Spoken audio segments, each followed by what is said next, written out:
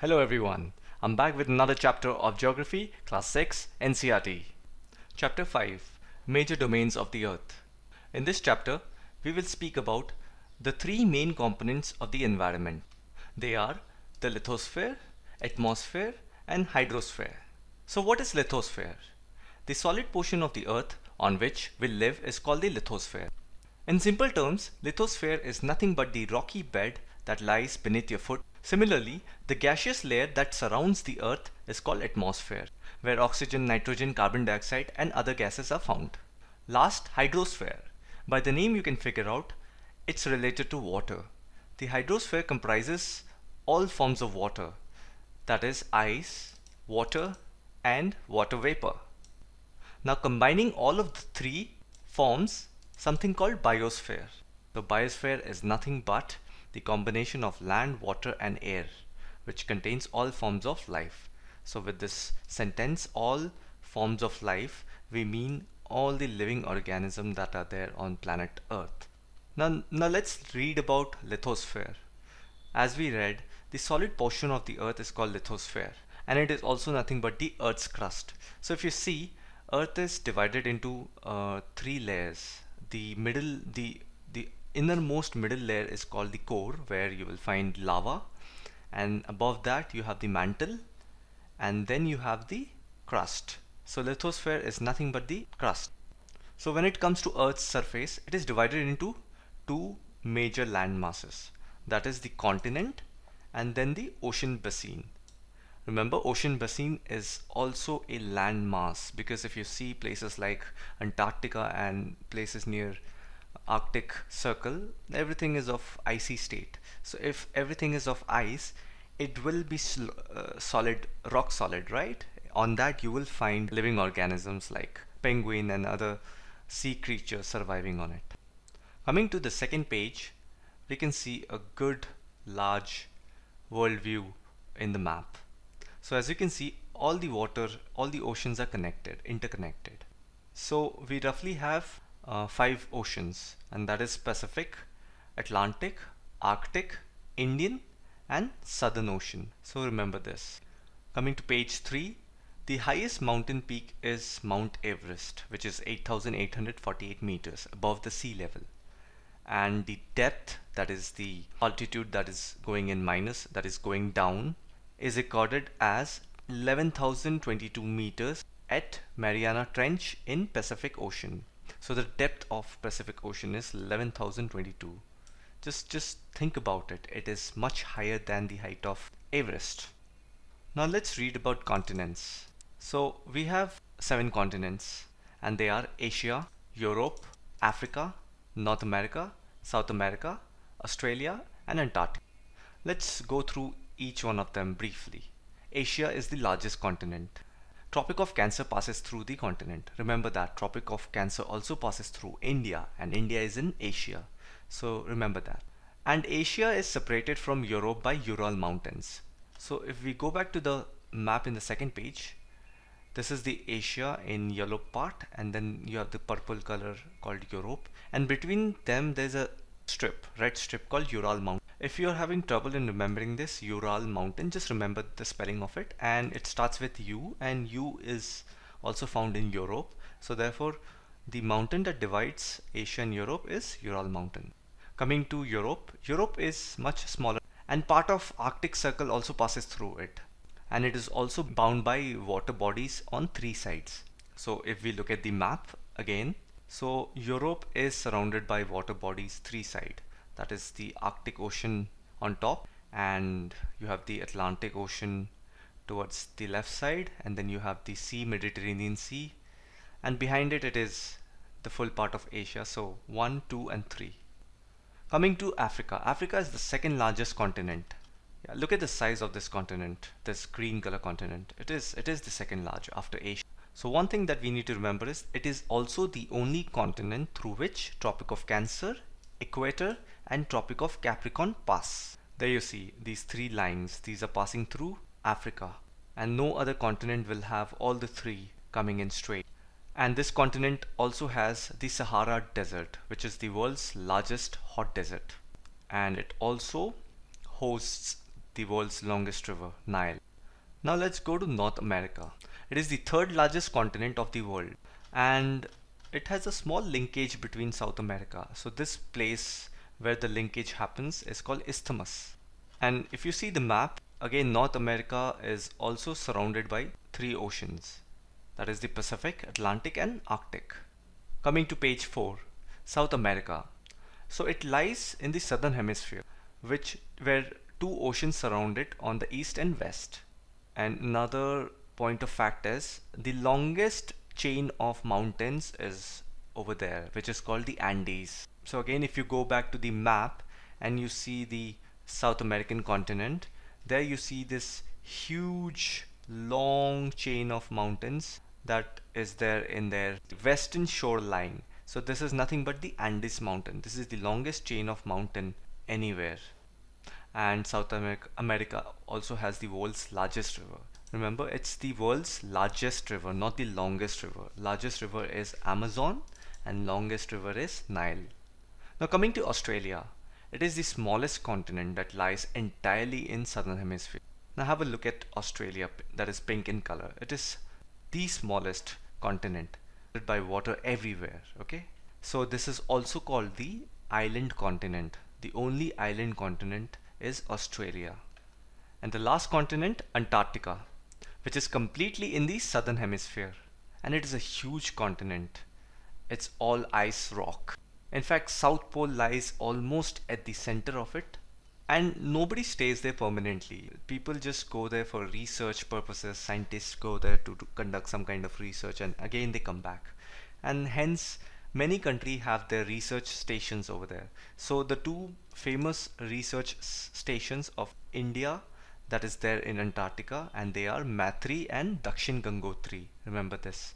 Dakshin Gangotri and Maitri so coming to the next topic hydrosphere the Earth is called the blue planet. More than 71% of the Earth is covered with water and 29% is with land.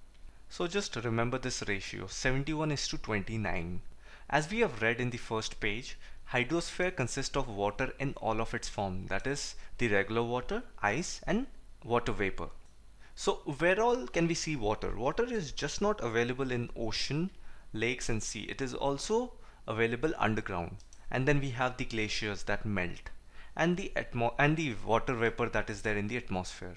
So these all account for the entire hydrosphere.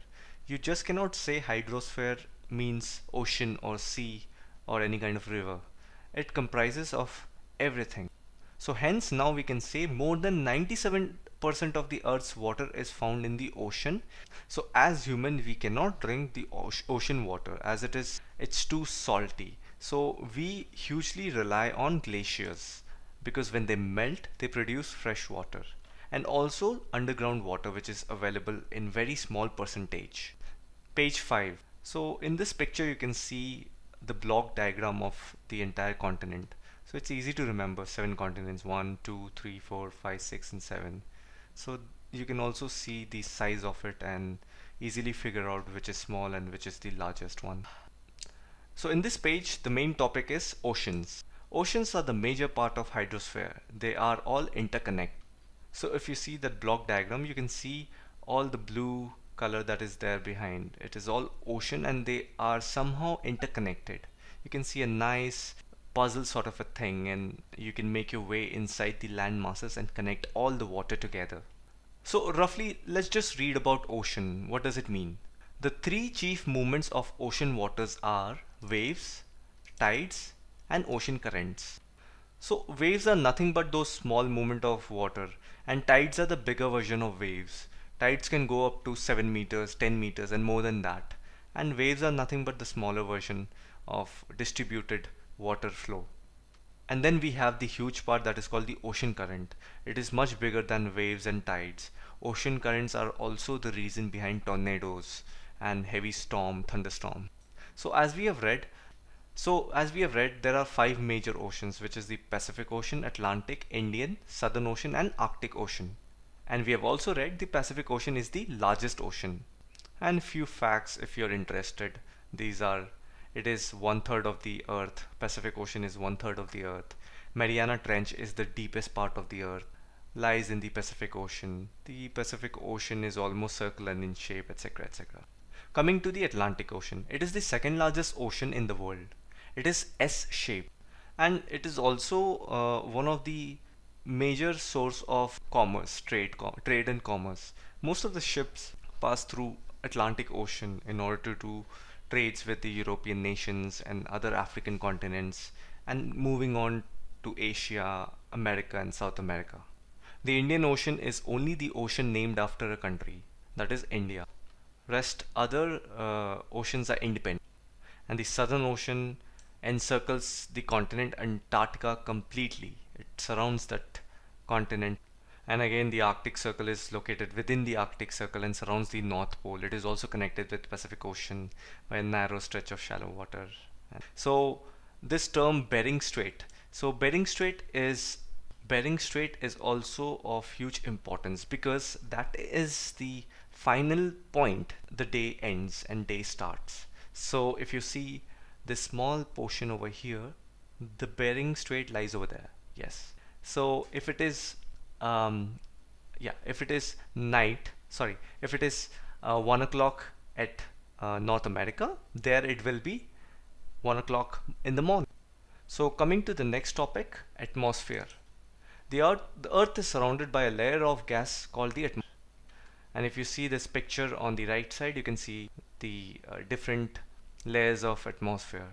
First comes troposphere stratosphere mesosphere thermosphere and exosphere so you can easily remember this by TSMTE or anything. You can use some kind of mnemonics. So always remember this. Troposphere is the uh, inside um, layer of atmosphere within the Earth circular path.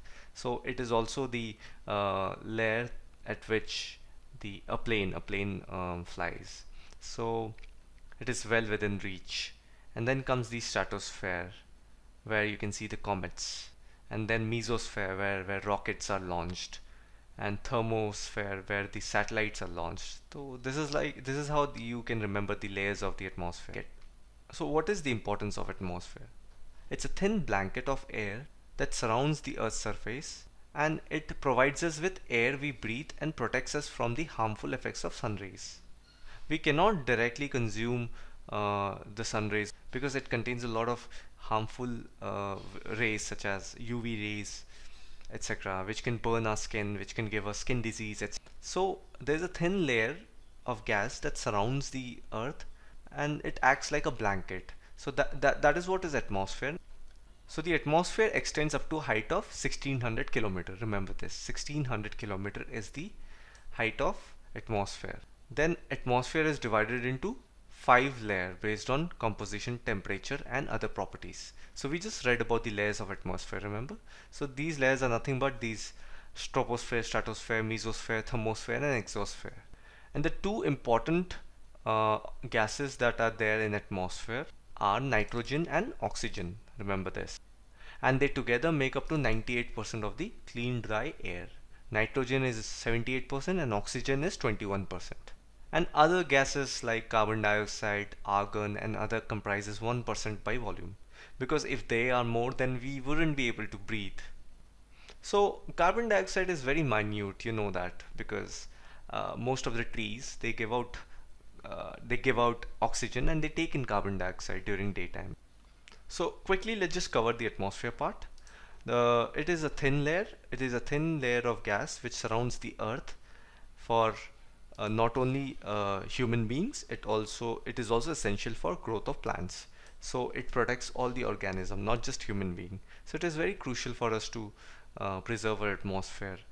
Now coming to page number 7 the density of atmosphere varies with height which is true. The density the density of atmosphere varies with height. It gets maximum at the sea level and decreases rapidly. Remember going down increases going up decreases and the temperature also increases as we go up. That's why a lot of the mountaineer where they when they go on a trekking or any kind of summit so they have to carry oxygen cylinder so that they can breathe. So always remember the movement of air is always high pressure to low pressure. Wherever there is high pressure the winds move away from there. So high pressure is seen at oceans, at ocean bed, and hence it gets passed to a low pressure area. Low pressure is nothing but the land mass, and that is why we see a lot of storm coming towards the uh, land area. If if there is a storm which is building up on some ocean, immediately it will be passed to the nearest landmass or, or continent and that is how we see the change of weather and it's raining or thunderstorm etc. Coming to the last topic biosphere. The biosphere is the narrow zone of contact between the land, water and air. So this is very important. The combination where land, water and air comes together is called biosphere. It is this zone that life that is unique to this planet exists. So have a look at this picture. You will e easily understand the meaning of uh, biosphere. If you can see every single thing that is there in this picture, you will not need any kind of a textual definition. You can easily understand what is biosphere. It has this uh, sky over there and then it has this water and all these water organism and then it has the lithosphere, the land mass and all the organism that lives on planet earth. So everything together comprises of biosphere. So here is a good definition of biosphere. Species of organism that vary in size from microbes and bacteria to huge mammals, all the living organisms including humans are linked to each other and to the biosphere for survival. So this sentence broadly means that everything, everything that is available and that can breathe are together form biosphere. So in this last line when it says the biosphere for survival it means remember Darwin's theory of survival? The fittest will survive. That's why you see big fishes eating the smaller one and then we eating the fish. So everything is a biosphere. So just think of it this way plants are grown the plants are grown into a tree then the leaves and fruit they fall down and then small organisms such as caterpillar or earthworm they eat the leaves all right and decayed leaves and then uh, those small organisms when they die they get flushed away with rainwater to the river and when it gets flushed away to the river the water organisms such as fishes small fishes big fishes they eat them and then we catch those fish and we eat them. So you can just imagine that how this entire circle forms a biosphere. So that is the entire definition of biosphere. So this chapter was all about this. I hope you understood this chapter easily. And uh, let's go through the exercise questions briefly. First question, what are the four major domains of the earth? So we read about this. The four major domains of earth are lithosphere, atmosphere, hydrosphere and biosphere. Name the major continents of the earth. So there are seven continents so you can just name uh, all of them. The largest continent is Asia followed by Africa and then North America. Name the two continents that lie entirely in the southern hemisphere. So the two continents that lies completely in the southern hemisphere are Antarctica and Australia. Africa and South America have a little portion of it in northern hemisphere. Name the different layers of atmosphere. So let's quickly remember how how we read about it. The first is thermo uh, sorry, I'm really sorry about that. So let's quickly go through the layers of atmosphere. Troposphere and then stratosphere and then mesosphere and thermosphere last is exosphere so exosphere can be uh, easily remembered as exit ex because let's see that let's read it as exit you know that is the exit the last layer. And it starts with tropo. Tropo let's read it as tropical you know a good nice greenery around. Hence it is the beginning so it is close to the planet earth. Let's think of it as tropic tropical tropical tropico something like that. And then comes strata. So strata uh, all those dots that form strata and there you can see all the shooting stars asteroid etc and then come meso. So meso is nothing but heavy you know in terms of like mesosphere like meso body heavy body and heavy bodies such as rockets. Rockets go in that layer. And then thermo. Thermo is the heat. So uh, we can easily remember that. So before exiting let's go through the heat one. So thermosphere like that. Fifth question why is the earth called the blue planet? 75% of it comprises of water. More than 75% comprises of water. And uh, uh, yeah 99% is ocean water which is salty. And hence this is called blue planet. Why sixth question. Why is the northern hemisphere called the land of hemisphere? It is called the land of hemisphere because most of the uh, most of the continents lie in northern hemisphere. That is why it is called the land of hemisphere. Why is the biosphere important for living organism? So we read about this, right? So it is nothing but you can write it in your words, something like everything is interconnected. There is a big chain and uh, it, it follows from a small plant to a big human being or a mammal. So everything is interlinked. So biosphere is very important because if one thing gets affected, the uh, change or the consequences can be seen in the other. And you can give few examples like deforestation and how I explained about the uh, food system, you know, how things get decayed and eaten by one sector and how it comes to the end of the chain, etc. Coming to some, uh, take the correct answers. The mount range that separates Europe from Asia is the Ural Mountains. As I said, Europe. So EU. So there should be U in it, Urals. Second one, the continent of North America is linked to South America by an isthmus. So Panama, Panama is the place, is the name of the place that is the point between North America and South America. Um, the major constituent of atmosphere by percentage is, yeah. So uh, together nitrogen and oxygen form 99% of the uh, atmosphere. Carbon dioxide is in 1%, but nitrogen takes the lead by 73%. So 75 or 73%, something more than 70, just remember that. So nitrogen is the major constituent of atmosphere. The domain of the earth consisting of solid rock is called lithosphere. So solid rocks, solid rocks are found on the upper uh, layer of the earth, right? It cannot be in the uh, inside layer. So as I said, uh, this earth is covered with three layers. One is the core and then the mantle and then the crust. So crust is on which we live. So lithosphere. Which is the largest continent? Asia. The second one is Africa and the smallest is Australia. It is also the island continent. Remember that. Fill in the blanks. The deepest point of the earth is Mariana Trench, which is 11,000 something in Pacific Ocean. The Dash Ocean is named after a country, Indian Ocean. The Dash is a narrow contact zone of land, water and air that supports life.